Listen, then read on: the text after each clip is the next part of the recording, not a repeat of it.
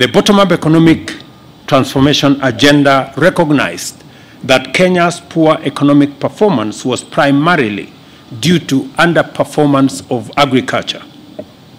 Agriculture's contribution to employment, to incomes, foreign exchange, cost of living, and industrialization has two related implications. One, neglecting to invest in agriculture deprives the economy of a tremendous opportunity to grow steadily, increasing unemployment, poverty, and inequality. Two strategic interventions in agriculture can ignite the national economy and set it on the path to inclusive growth. On my first day in office, I outlined to the nation the hard times and difficult choices we faced, as well as the respective costs and benefits of policies at the time and the strategies proposed in our agenda.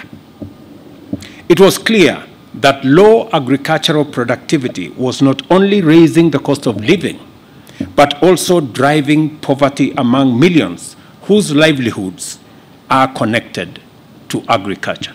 I've said, 70% of all employment is from the agricultural sector with its linkages in manufacturing, value addition, and agro-processing. At the same time, the importation of food items and expenditure on subsidies, including duty waivers, were depleting our foreign exchange and exerting severe budgetary pressure without attacking the fundamental productivity problem.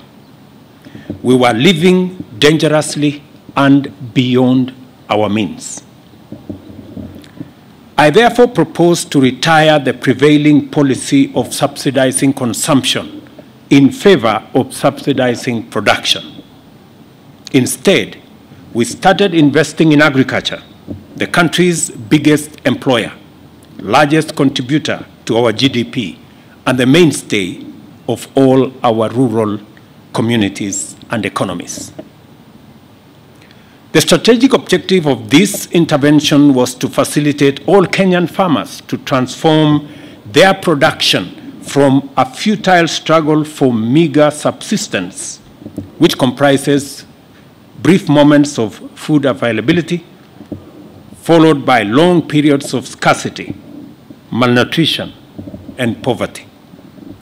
Instead, we transform this to surplus production, food security, and sustainable incomes.